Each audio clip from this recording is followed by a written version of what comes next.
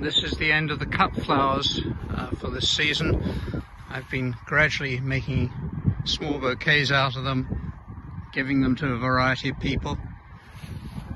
I've already got rid of that bed except for the foxgloves, which as you know uh, will come up next year. Um, this bed needs to be taken out pretty much except for the calendula. Nasturtiums which don't do much good for me.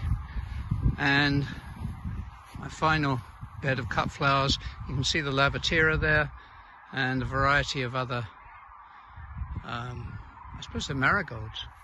And at the end the carnation.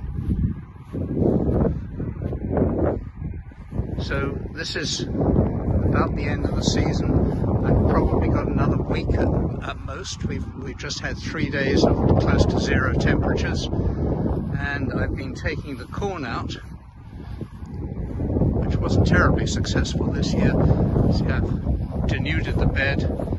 Uh, several of the beds have been denuded. I still have a few to go like that one. The corn wasn't very successful. The beans were very good and I still have squash that's growing. This is spaghetti squash, you can see it there, tucked in amongst the, right there.